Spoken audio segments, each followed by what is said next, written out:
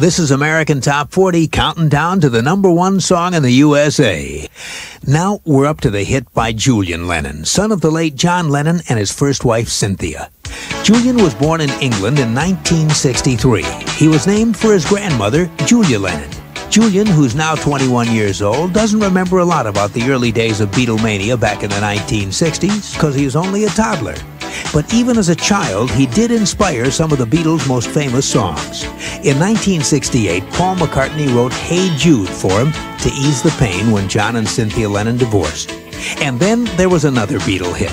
Julian told writer Brant Mewborn, When I was five, I came walking up to my dad with a watercolor painting I'd done.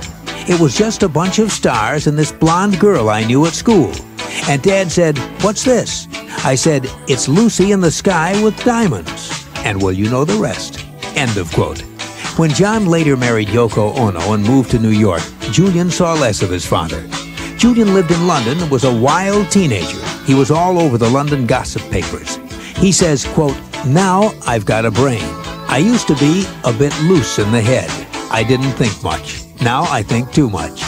Julian started playing guitar and piano in his teens. That's when he started listening to Beatle music and other sounds. Last year, he recorded some demo tapes at a French chateau called Valotte. Those demo tapes got him a contract with a British label. And that chateau became the name of his debut album.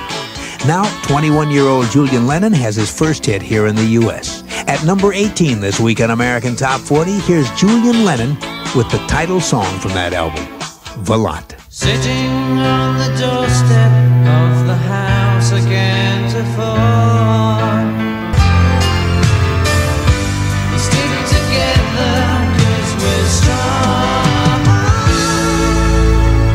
Julian Lennon on American Top 40 at number 18, moving up six notches, fourth week in the countdown. His first chart single, Valotte, the title song from his LP.